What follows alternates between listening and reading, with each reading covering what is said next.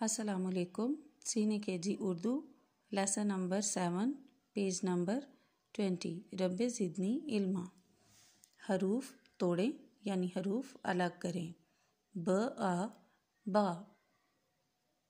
इन दोनों हरूफ को हमने अलग करके लिखना है। पहले ब है तो इसलिए पहले यहाँ पे ब लिखा जाएगा। लेकिन हम छोटी शकाल लिखेंगे, क्योंकि जोड़ने में छोटी शक्लें इस्तेमाल होती हैं। ब, आ, बा, क, ल, कल।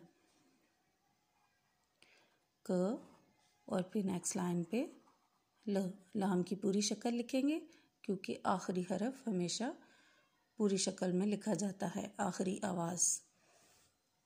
म, न, मन। म, न, मन। ह, ल हल, ल, आ, ला, न न, नन, ज, आ, जा, क,